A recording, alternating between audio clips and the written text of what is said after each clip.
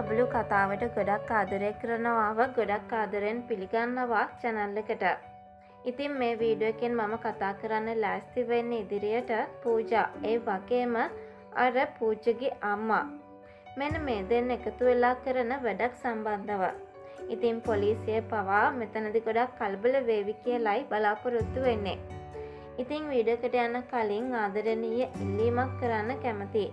ඒ තමයි වීඩියෝ එක බල්ල කුතුහලයක් ඇතිවුණා නම් අනිවාර්යයෙන්ම channel එක subscribe කරන්න ඒ වගේම like කරන්න comment කරන්න share කරන්න කියලා අමතර ඉල්ලීමකුත් කරන්න කැමතියි. ඉතින් මේ වෙනකොටත් දන්නවා පූජට මානසික රෝහලට යන්න සිද්ධ වුණා. ඉතින් ඒකට යන්න සිද්ධ වුණේ පූජගේ සෞඛ්‍ය මට්ටම ඒ තරම් හොඳ තත්ත්වයක තිබුණේ නැති නිසා.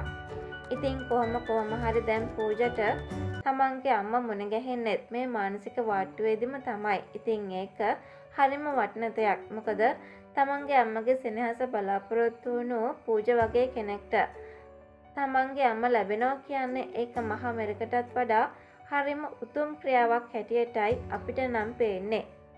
ඉතින් දැන් මේ සිදුවීම් සියල්ල අතරෙම ඔයා දන්නවා ඒ තමයි දැන් සුපර්ටටත් හොඳට මතක් වෙලා තියෙන්නේ මේ පූජගේම අම්ම තමයි කියන දේ.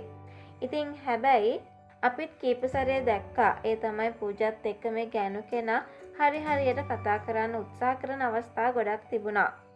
ඉතින් නීලපොබලු කතාව ඉදිරියට මෙන්න මේ වගේ දෙයක් බලාපොරොත්තු වෙන්න පුළුවන්. ඔය දන්නවනේ පොලිසියෙන් පවා පූජට මොකද කරන්න කියන එක ගැන අහලා තියෙන්නේ. ඉතින් අන්න ඒකත් එක්ක පූජ මේ වෙනකොට එයාගේ සෞඛ්‍ය තත්ත්වය හොඳ නැති නිසා තමයි මේ මානසික රෝහලේ ඉන්නේ. ඉතින් ඒ වුණාට දැන් ඔය දන්නවනේ පූජගේ අම්මත් මෙතන ඉන්න නිසා. විශේෂයෙන්ම කියනවා මේ දෙන්න ගොඩක් මිතුරුකමින් ඇසුරු කරන නිසා ඉදිරියට අවංකවම කියනවා නම් මේ රෝහලේ කාගෙන් හෝ වෙන අත්වරද්දක් නිසා ඇත්තට මේ ගොල්ලන්ට හිතල දෙන්න වේදනාවක් නිසා මේ බංගලාවෙන් පිටවෙලා ඒ බංගලාවට යාවි කියලයි බලාපොරොත්තුවක් ඇති කරගන්න පුළුවන් වෙන්නේ. ඉතින් කොටින්ම කියනවනම් පූජා ඒ වගේම පූජගේ අම්මා තාමත් දන්නේ නෑ දුවයි ඒ වගේම අම්මයි කියන කතාව.